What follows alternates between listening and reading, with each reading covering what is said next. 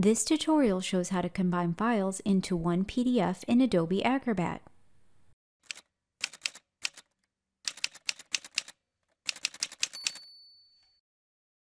Hello, my name is Erin. I'm a technical writer and editor who shares easy to follow software tutorials and writing tips for the real world on this channel and on my blog at erinwrightwriting.com. One of Adobe Acrobat's most convenient features lets you combine files into one PDF. Best of all, the files don't have to be other PDFs. You can combine nearly any file, such as Word, Excel, PowerPoint, or an image, as long as you have the corresponding software on your computer.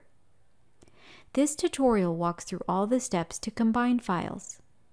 Plus, the bonus section at the end shows how to organize and delete pages after combining the files.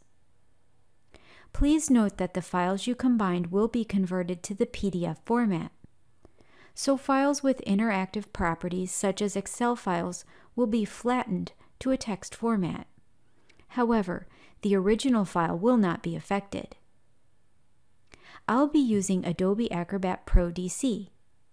The steps are the same in Acrobat Standard DC, Acrobat 2020, and Acrobat 2017. Adobe's free PDF software, Acrobat Reader, doesn't have a tool for combining files.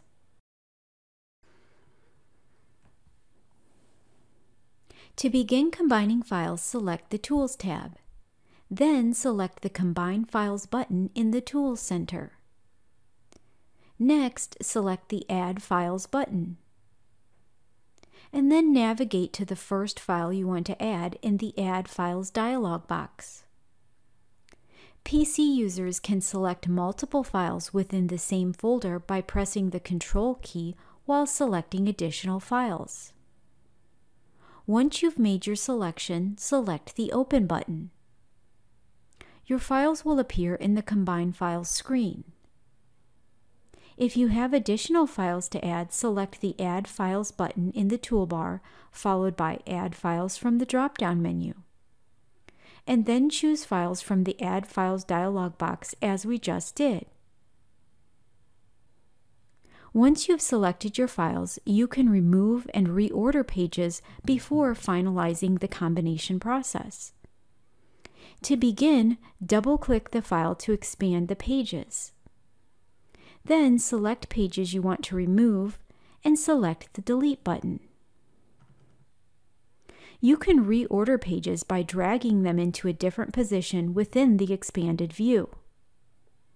Select the Collapse button when you're finished working within an individual file. When you're ready to combine your files, select the Combine button in the Combine Files toolbar. The process may take several minutes depending on file sizes. When it's finished, you can select the Page Thumbnails button to see all the pages in your newly created PDF, which will be called Binder 1, Binder 2, etc.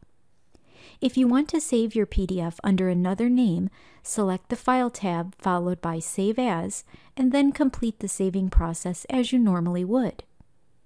In the next section, we'll organize and delete pages after combining the files.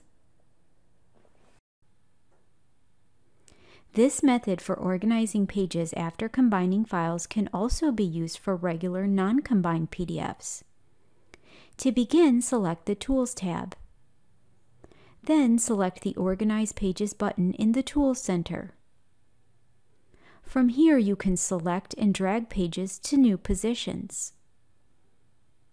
You can also select pages and then select the Delete button to remove them. When you're finished, select the Close button in the toolbar. As always, save your PDF to save your changes.